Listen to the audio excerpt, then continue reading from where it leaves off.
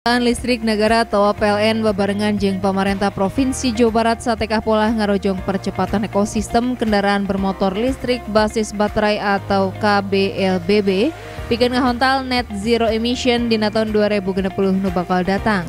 Salah sajina ngaliwatan kegiatan konvoy kendaraan listrik anu dijeran EV Fun Trip anu diserang ku PLN Group kolaborasi jeung pemerintah Provinsi Jawa Barat Minggu 25 Juni 2020. Eta konvoy kendaraan listrik EV Van Trip teh dipitembeyan secara langsung ku Gubernur Jawa Barat Ridwan Kamil kalawan jejer ngawangun mangsa jaga anu leuwih hade make KBLBB.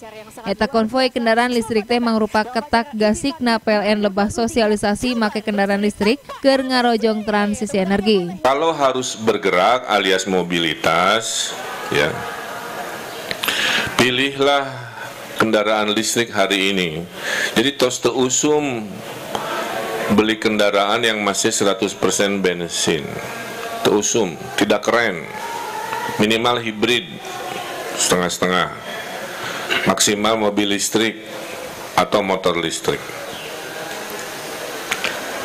Empat tujuan mulia kita menggunakan listrik, tapi hari ini baru tiga kecontreng kebaikannya. Ingat-ingat nih.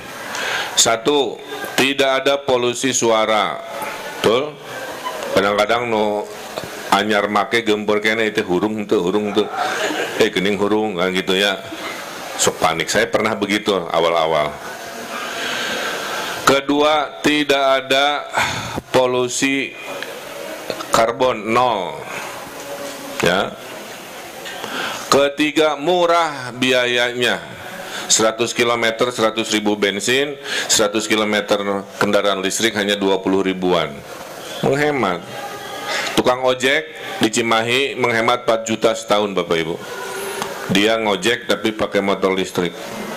4 juta setahun kali jutaan tukang ojek berapa tabungan yang dia lakukan? Bisa dipakai untuk belanja-belanja konsumsi yang lain. Tuh Nah yang keempat yang suka didebat oleh orang-orang yang tidak suka motor listrik ini ya percuma biasa kan sok ayahnya mendang eh, apa kelompok mendang mending di medsos mah.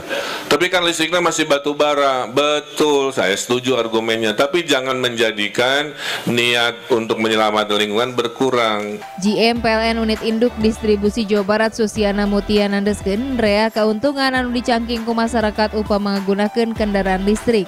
Pangnak itu biaya kermeli bahan bakar nalui hemat, prak-prakan ngararawat nagelui gampang, turta ramah lingkungan. Aksi yang mungkin bisa dilihat ada dari West Japa Energy Forum, ya PLN, kemudian dari Bank Indonesia dan terutama dari Pemprov yang dukungannya luar biasa. Jadi hari ini kita lihat tadi sudah ada riding bersama ya 150 motor listrik ya baik yang modifikasi maupun yang ori dari pabriknya ya bersama-sama ke sini kemudian kita juga dengar diskusi bersama ya untuk uh, bagaimana ke depannya menghadapi uh, green energy begitu.